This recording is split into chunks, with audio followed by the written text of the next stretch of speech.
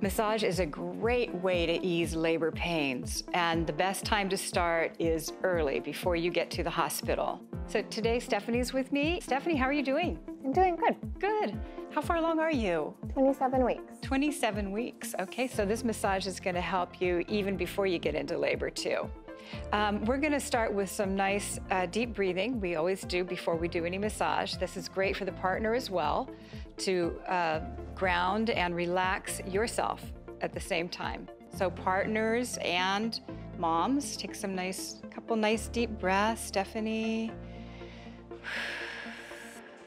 fully exhale.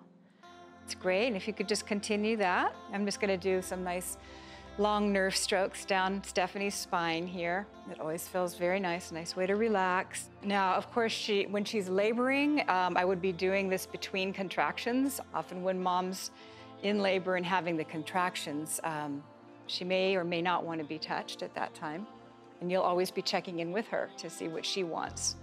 And then with the contractions and in between the contractions also, I'm going to um, place my palms on either side of her hips with my fingertips pointing in.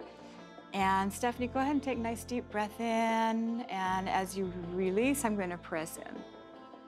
And I'm leaning in with my body weight.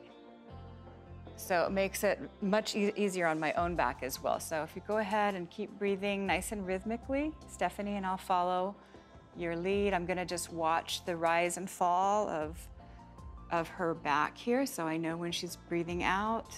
This is gonna help the pelvis to relax so that the baby can drop farther down.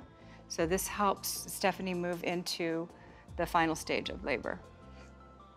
When mom's in labor, you can press directly on the sacrum and even with your fingers directly down the sides of the sacrum. That's not something that we recommend during pregnancy. But when she is in labor, her partner will be pressing directly onto the sacrum and harder than we've ever pressed before and holding it for eight to nine seconds and releasing. Stephanie, believe it or not, we're gonna dance just like in junior high. Remember? Barely. well, bear with me. Okay, put your arms around my waist, okay. okay? And lean into me, lean against me like you would against your partner. Okay, so we're just gonna sway together back and forth a little bit with some nice easy breathing. And then partner, you can see my hands are in the perfect position. So some nice compressions right around the spine here, all the way down. And mom's leaning into me, she's breathing, she's using me as her pillar. And I am thinking about her and I am massaging along her spine.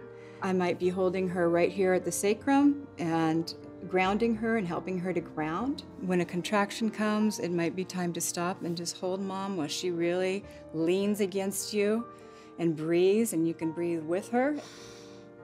And we're gonna move again back and forth in this nice, slow, easy rhythm.